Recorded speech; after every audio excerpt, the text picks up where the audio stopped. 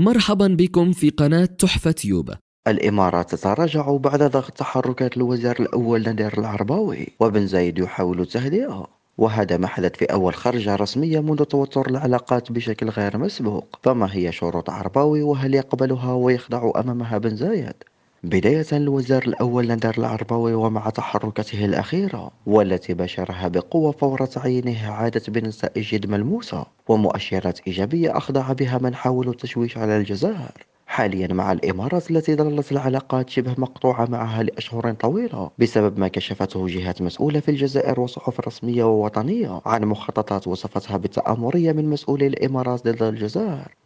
ومحاولة ضرب مصالحها وإشعال منطقة وقلبها ضد الجزائر. الآن مع تحركات الوزير الأول عرباوي الذي لا يجامل وبشخصية وموقف قوي ضد كل من يعادي الجزائر أو من يحاولون ضرب مصالحها. بشخصية الأخير القوية التي كانت تنقص من يقود الحكومة لمواجهة كل هذه التشويشات من أي دولة أجنبية.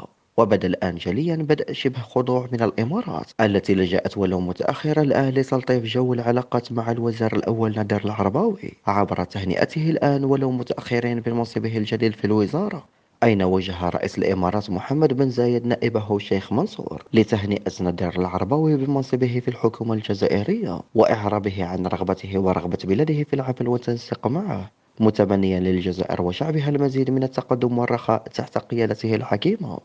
أين أثنى النظام الإماراتي على القيادة الجزائرية برئاسة عبد المجيد تبون ووزارة العرباوي؟ واصفا إياهم بالقيادة الحكيمة وتصريحات معسولة من الإمارات لتخفيف حدة التوتر حسب خبراء جراء الغضب المتزايد والحاد من المسؤولين الجزائريين على المسؤولين الإماراتيين. بسبب الأحداث الأخيرة بين البلدين ومخططات بن زايد التي كشفت عنها الصحافة الوطنية.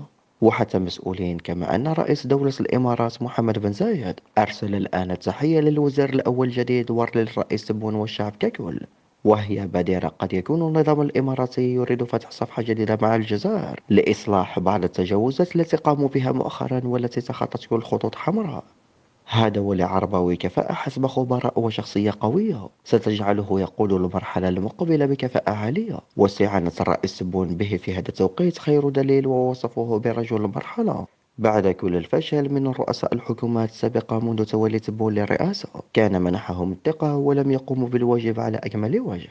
أما حاليا الرئيس تبون يعول على العرباوي كثيرا ويثق فيه لقيادة المرحلة مفاجأة ورد قوي جديد من الرئيس تبون على رئيسة وزراء إيطاليا بعد أن كانت الأقرب للجزائر. والأخيرة زيارتها حاليا مرفوضة وصحف تكشف تفاصيل الرفض وشروط الرئيس تبون. فكيف سيستقبل بدلا منها أكبر منافس لها ويفضل إسبانيا؟ بداية عادت للوجهة مرة أخرى رئيسة وزراء إيطاليا جورجيا ميلوني مع الحدث عن رفض الرئيس سبون اللقاء بالأخيرة حاليا وهي التي حسب صحف محلية كانت من البداية مبرمجة لزيارة لها نحو الجزائر وأرادت حسبهم التعجيل الآن لتدارك الخطأ والحفاظ على العلاقات الجزائرية الإيطالية على حساب الإسبانيا بالطبع في ظل صلح الجزائر الإسباني. الذي بدأ ناهيك عن كون الزيارة التي تريد إجراءها حاليا حسب ذات المصادر الصحفية تأتي في ظل الغضب الجزائري المتزايد عليها.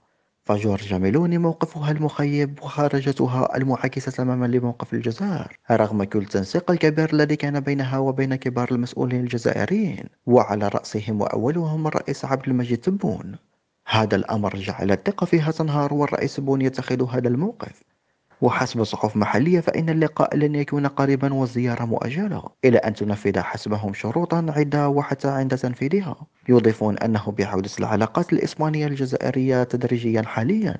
فلن تكون إيطاليا على انفراد بالعلاقات مع الجزائر وأنها ستختار الجزائر مسار موازنة بينهما. وربما حتى الميل لطرف آخر على حساب إيطاليا إذا لم تصلح ميلوني أخطاءها تجاه الجزائر.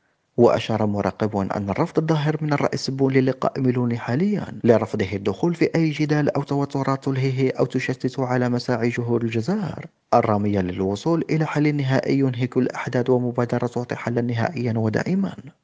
عكس الموقف الضبابي الذي تبنته ميلوني رئيسة وزراء إيطاليا وهو الموقف الذي كان مفاجئا خاصة وأن الأخيرة كانت على تطابق تام لموقف الجزائر سواء في القضية الليبية والصحراوية والنيجر والسودان وغيرهم. إلا فيما يخص الأحداث الجارية خرجتها كانت عكس توجهات ومساعي الرئيس مما حدث فجأة توتر كبير في العلاقات الجزائرية الإيطالية لكن الأخيرة بدأت في تغيير ذلك تدريجيا وتصحيح وتدارك أمرها خاصة وأن العديد من الدول الأوروبية باتت تتجه نحو مسار السلم حاليا لفرض وقف الأحداث في أسرع وقت ممكن. أما المفاجأة الأكبر ليست في كل هذا. بل في الخرجة التي حسب مراقبين ستجنن ميلوني وتدفعها لتصحيح أخطائها والتوجه للتنسيق والمطابقة مع الجزائر فورا حيث تحدثت العديد من الصحف العربية والأجنبية أن رئيس وزراء إسبانيا الذي يعد من أشد المتخالفين مع رئيسة وزراء إيطاليا ميلوني سيحاول زيارة الجزائر هذه الأيام وتكون زيارة قريبة جدا. مع بوادر بدء الصلح وقيم الأخير بعدة خرجات أعجبت الجزائر يكون بدأ فيها هو الآخر تصحيح كل أخطائه تجاه الجزائر لينفذ كل شروط الصلح وناهيك عن موقفه الذي اعتبرته الجزائر مشرفا. من الأحداث الجارية ودعوته لوجوب وقف الأحداث والجنوح للسلم ووضع حل نهائي ودائم. بنفس موقف الجزائر من إسبانيا عكس الموقف الضبابي حسب صحف محلية من إيطاليا وميلوني. كما أن ما يؤرق ميلوني حسبهم هو أنه فور زيارة سانشيز للجزائر. سيعني ذلك عند حدوثها ضياع العديد من الأهداف التي كانت تطمح لها ميلوني للقيام بها منفردة مع الجزائر وعلى حساب إسبانيا. لكن مع الصلح ومحو التوتر معها هذا الأمر لن يخدمها ويخلط حساباتها. ناهيك عن كون ما قد يعتبر شعبية لها لدى الجزائر انهارت كليا لأنها سابقا كانت تحظى بتقدير واهتمام كبير لكن الآن ينتظر أن يتراجع. والأكيد حسب المحللين الأخيرة ستصلح ما قامت به وتصلح العلاقات. لكن دخول إسبانيا الخط بالصلح سيشعل المنافسة بينهما. في انتظار الموقف الذي ستتبناه مجددا قبل أي محاولة للزيارة لتقنع الرئيس بون باستقبال وجدوى لقائها لو قامت به ويخدم مبادرة ومطالب الجزائر لوقف الأحداث والحل النهائي والدائم المنتظر. الرئيس بون يخلط حسابات رئيسة الوزراء الإيطالية ميلوني ولماذا الجزائر غاضبة عليها؟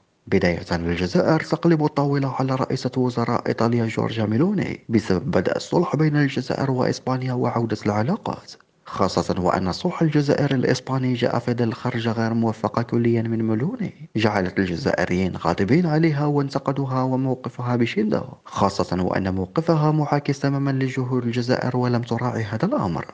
رغم التنسيق الكبير بين بلاده والجزائر مؤخرا على كل الأصعدة العلاقات القوية والمتينة والتي بلغت مراحل غير مسبوقة.